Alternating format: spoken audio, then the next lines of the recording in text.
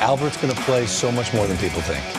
He is. He's a draw, and he's going to be productive.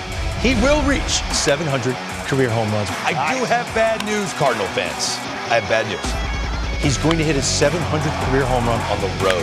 And only fitting it'll be in Wrigley, right? No. Is that where- where- Friday night in Los Angeles in September of Clayton Kershaw. Oh, man, that's a Okay, crazy so that's when it's going to happen against his former teammate. Hall of Famer versus Hall of Famer. It'll be on the road. I can't wait to see it.